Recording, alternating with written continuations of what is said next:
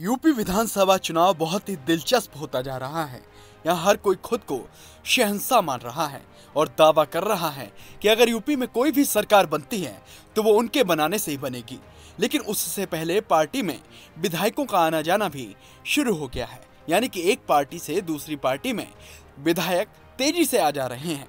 ऐसे में 19 जनवरी को बीजेपी में एक ऐसा चेहरा शामिल हुआ, जिसने यूपी में कांग्रेस और सपा दोनों को ही एक तरफा मात देने की साजिश रच दी है। समाजवादी पार्टी के संरक्षक मुलायम सिंह यादव की बहू अपर्णा बिष्ट यादव ने बीजेपी ज्वाइन कर ली है, जिसके तुरंत बाद बीजेपी ने एक पोस्टर जारी किया है। इस पोस्टर पर अपर्णा की तस्वीर है, जिस पर लिखा हुआ है, सुरक्षा जहाँ, बेटियाँ वहाँ। माना जा रहा है कि बीजेपी ने इस पोस्टर के ज़रिए विपक्ष को करारा जवाब देने की कोशिश की है, क्योंकि विपक्ष लगातार राज्य में महिलाओं के सम्मान और सुरक्षा को लेकर तमाम सवाल खड़ा करता आ रहा है। वहीं इस घटनाक्रम के तुरंत बाद समाजवादी पार्टी के अध्यक्ष अखिलेश यादव ने भी एक प्रेस कॉन्फ्रेंस की, जिसने कई तरह के सवाल खड़े कर दिए हैं। और ये सवाल हैं अपर्णा यादव के बीजेपी में शामिल होने पर। क्या अपर्णा यादव समाजवादी पार्टी के एजेंट हैं? क्या अपर्णा यादव बीजेपी को तोड़ने के लिए बीजेपी में शामिल हुई हैं? क्या अपर्णा यादव सपा विचारधारा की खुशबू फैलाने के लिए परिवार से बागी हो गई हैं? ये वो सवाल हैं जो अखिलेश की पीसी के बाद सामने आ गए हैं। चलिए आप भी सुन लीजिए कि अखिलेश यादव ने प्रेस कॉन्फ्रेंस में अपर्णा यादव के बीजेपी में शामिल होने पर क्या कुछ कहा? सबसे पहले तो मैं बधाई दूँगा और शुभकामनाएँ। और साथ ही साथ हमें खुशी इस बात की है कि समाजवादी विचारधारा का विस्तार हो रहा है। समाजवादी विचारधारा का विस्तार जो हो रहा है, मुझे उम्मीद है कि हमारी विचारधारा वहाँ भी पहुँच करके और संविधान और लोकतंत्र को बचाने का काम होगा।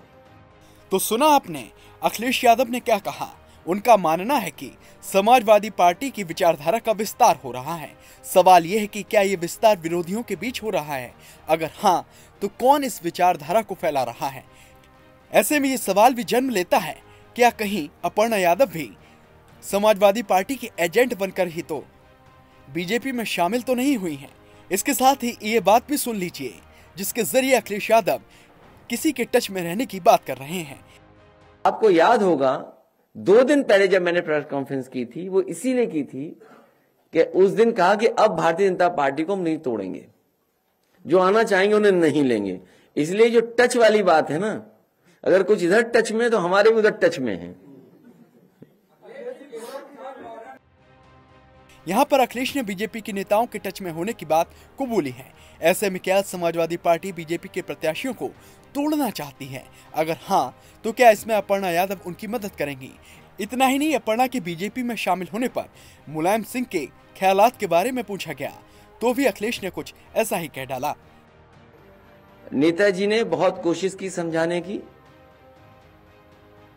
नेताजी ने बहुत कोशिश की समझाने की। इसके साथ ही अखिलेश से पूछा गया कि अगर अपर्णा वापस आती हैं तो क्या उन्हें सपा से टिकट मिल पाएगा? तो उन्होंने बड़ी सावधानी से जवाब दिया है। टिकट अभी पूरे नहीं बटे हैं और टिकट किसको मिलना है किसको नहीं मिलेगा ये क्षेत्र और जनता पे निर्भर करता है। और हमारी इंटरनल सर्वे रिपोर्ट पे भी निर्भर करता है। अब सवाल यह है कि ये इंटरनल रिपोर्ट कौन सी है? ये रिपोर्ट कौन देगा? अखिलेश किस रिपोर्ट के बारे में बोल रहे हैं? क्या ये रिपोर्ट अपर्णा यादव देंगी? क्या अपर्णा का सपा में कम होगा? और अगर हो भी जाता है तो अपर्णा को कौन सी सीट दी जाएगी? पिछले चुनाव के दौरान सपा की आंतरिक कलह के बाद भी अपर्णा यादव को लखनऊ कैंट सीट से चुनाव लड़ाया गया था।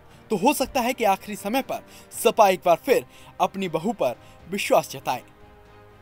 वीडियो पर अपनी प्रतिक्रिया कमेंट बॉक्स में दें और देश दुनिया की तमाम बड़ी खबरों से बाखबर रहने के लिए द न्यूज़ 15 को सब्सक्राइब करें।